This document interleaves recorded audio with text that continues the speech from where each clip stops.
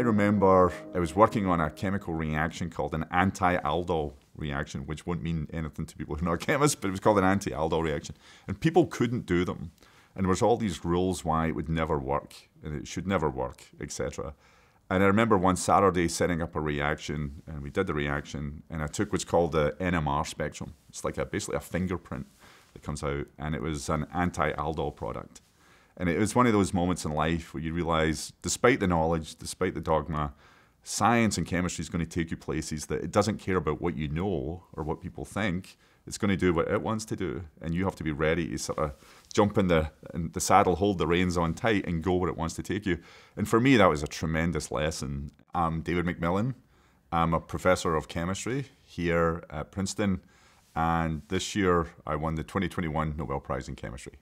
So I grew up in a, a tiny village called New Stevenston, which was next to a small town called Bellshill. And so people keep referring to New Stevenston and Bellshill, but they're part of this uh, basically steelworking area, but also mining area, probably about 10 miles away from Glasgow. And when we were growing up, it's kind of funny in America, 10 miles is nothing. You wouldn't consider that anything. But we considered that the other side of the universe to actually to go to Glasgow, which was 10 miles away. We were a, a really sort of proudly working class village, proudly working class town right next door to us. Uh, the whole area was based on coal mines. Uh, my grandparents were coal mines. My next door neighbour, who was effectively my grandfather, was a coal miner. That was about 50% of it when I was growing up. The other 50% was we had the biggest steelworks in all of Europe, which was basically a mile and a half from my house. I actually grew up between two different steelworks. So the other 50% was steelworkers, and they would go off to the steelworks every day. So it was, a, it was a pretty working class place, but it was, you know, there was a lot, people were employed, people were working. My village would be 99% council houses. There was one or two people who owned their own house at the very outskirts of the, the village, but um, almost everyone I grew up with lived in council houses. As you've probably seen them on TV, it's where you have all the sort of houses which are in a row and they're all sort of connected to each other and everyone lives sort of on top of each other, which sort of looks strange when you see it, but it's actually a pretty wonderful existence. It's a fantastic place to sort of grow up and you're just surrounded by everyone. And so in terms of a sort of community feel, it just had this really fantastic community feel. In my family, you know, the people, my family really cared about making sure you get educated. Uh, even though very working class, that's a sort of common theme in Scotland. People really do care about education. When I was a kid, I had probably no interest in science and no interest in math, or I wasn't one of these kids who was like drawing things in their in their notebooks when they were a kid about scientific ideas. I wasn't shooting bottle rockets off from my backyard. I wish I had have been because that I think that would have been awesome. No, I was a kid who grew up pretty just completely consumed by things like sports and soccer and football.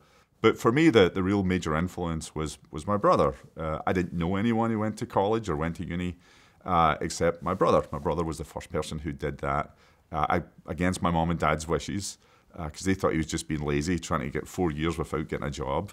So he went off to, to uni. And then the first day after he got out of uni with his degree, he got a job with a salary that paid more than my dad. And this really sort of was stunning to everyone. This blew away my, my parents. And from that day on, I was always being told that you need to go, you need to go to uni, uh, specifically to do exactly what my brother had done. But the uh, but I think the interesting part there was it was extraordinarily important to see that for me to see my brother go off and do that and, and what became of him. Yeah, so I went to the University of Glasgow. That's where I went for my undergraduate degree. In terms of when did science and chemistry really begin to impact me, I would say it was in my second year. It was my sophomore year. I originally went there to do physics for a whole range of reasons, decided that wasn't going to happen. Jumped over to chemistry in, in my second year and sort of fell in love with organic chemistry, which for a lot of people will sound really weird. Uh, a lot of people think organic chemistry is particularly difficult. I don't. I think for people who do organic chemistry, it's something that it actually becomes. It, it seems very very natural uh, when you first start to learn about it. It's in your mind, it sort of fits in with the way that you sort of think about problem solving as well as logic. And learning about organic chemistry was really wonderful. It was very different for me from learning about almost any other subject. And as I said, it was, it was a very natural sort of uptake for me to enjoy it. And especially whenever people would start to set us problems and questions, it seemed really like almost breathing, thinking about how you would sort of approach thinking about organic chemistry. And from that moment on, I pretty much knew I was going to be an organic chemist for the rest of my life. What is an organic chemist? An organic chemist is a chemist who thinks about, studies, and does research with uh, molecules that contain the atoms of life, the organic uh, aspects all around us, which is predominantly carbon, but includes hydrogen, oxygen, nitrogen, those kind of atoms. And it turns out all the molecules that make up our bodies, that make up the trees, make up animals, all the things around us are organic, as you might expect. And it turns out to be able to understand and think about how those molecules interact with each other or react with each other is the field of organic chemistry. One of the most beautiful things about the field of organic chemistry is it's constantly evolving. And you get to play a role in that. And all the organic chemists get to play a role in that every single day. For example, in the lab right now, I just came out of a meeting where we discovered a new reaction.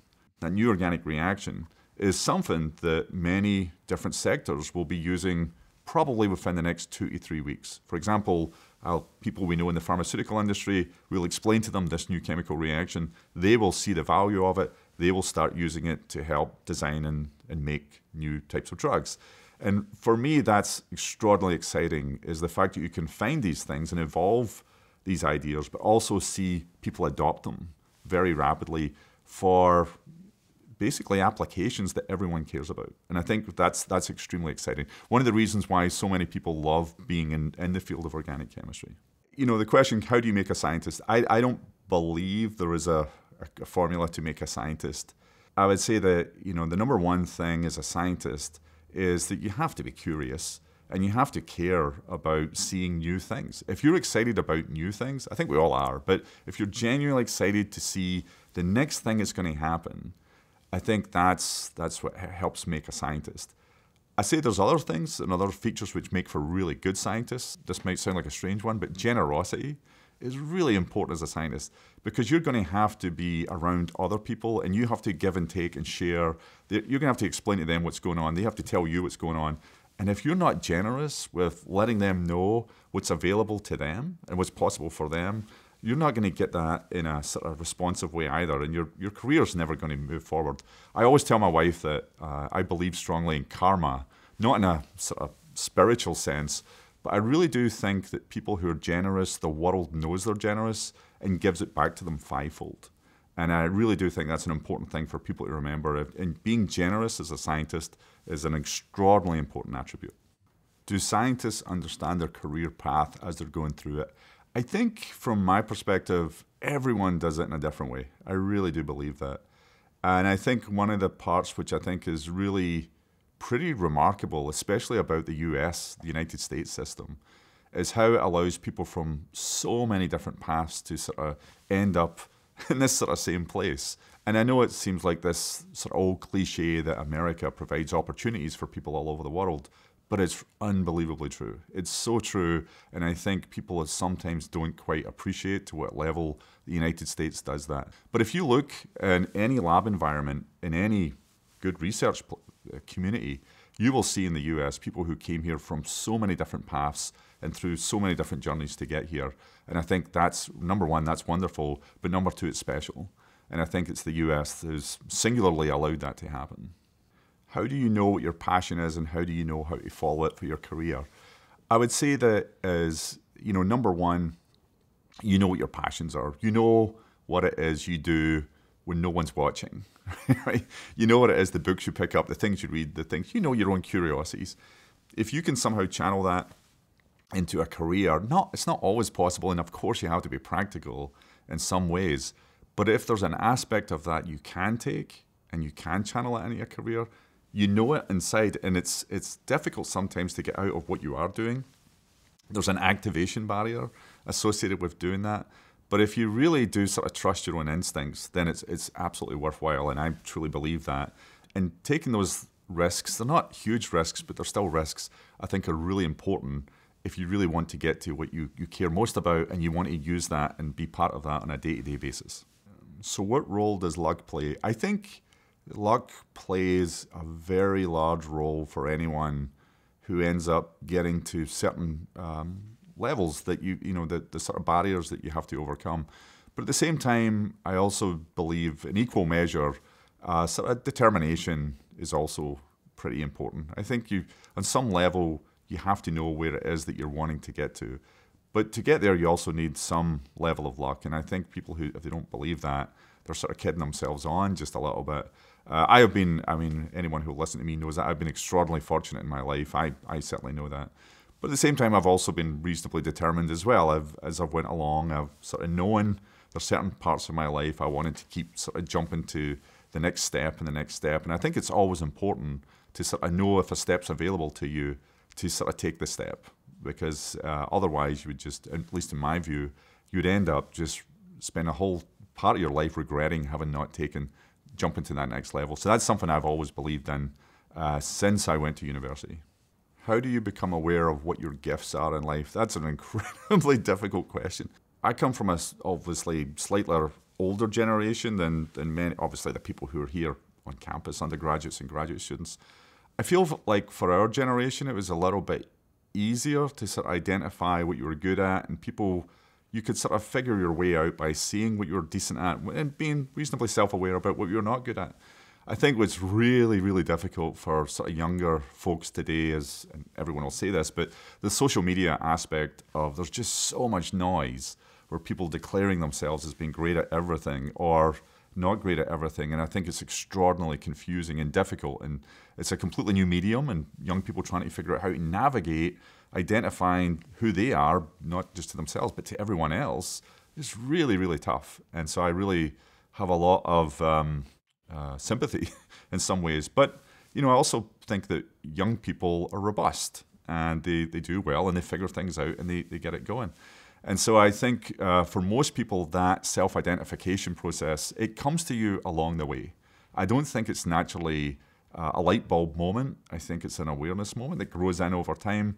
But I think if you follow, this will sound cliche, but if you follow what you truly are excited about and you truly love, I think you'll get there in the end.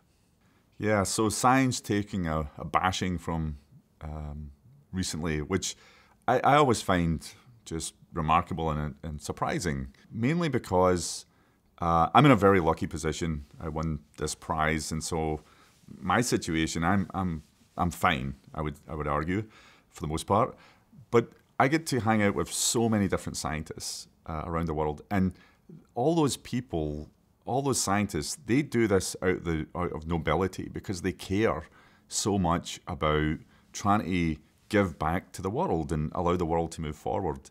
And the idea that science is taking a bashing is like bashing the most noble people in the world who are just trying to help everyone, which I find really bizarre.